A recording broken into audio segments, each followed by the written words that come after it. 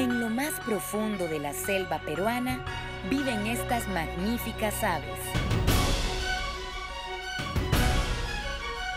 Pero la explotación de oro las tiene en peligro. Biólogos, ecoturistas y comunidades nativas se unen por la selva amazónica. El proyecto Guacamayo, este domingo a las 6 de la tarde. Solo en 13, Costa Rica Televisión.